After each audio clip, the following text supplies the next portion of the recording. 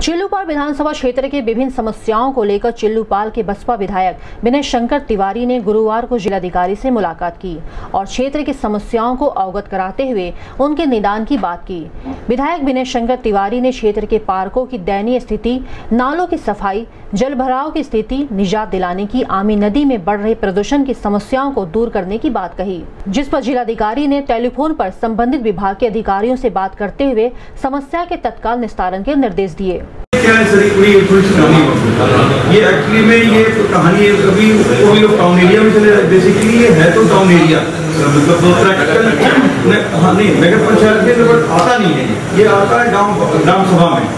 ये गाँव ये गाँव में नहीं, ये सर टाउन एरिया है बेसिकली हाँ।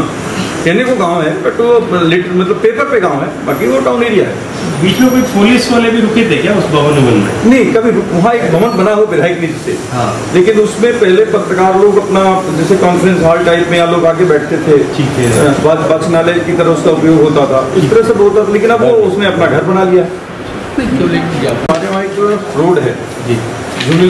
तो ये रोड चारों तरफ़ से बन गई है।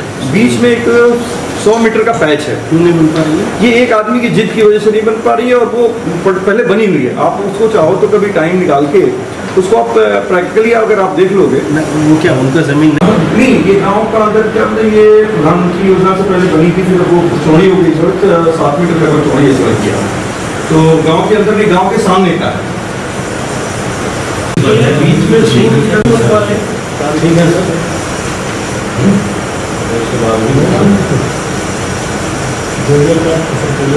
हाँ ये ये मैं ऐसो को भी आपको मार्किंग करा रहा हूँ उसको बनवा देना है इस पे। तो ज़बरदस्ती हाँ, काम करा देना ना नाला नाला और ये अगर इसको हम कायदे से काम करते जाए मनरेगा सिल टिल निकल के अगर गहरा हो जाएगी कितनी लंबाई होगा ये हमारे विधानसभा में लगभग चालीस किलोमीटर चालीस किलो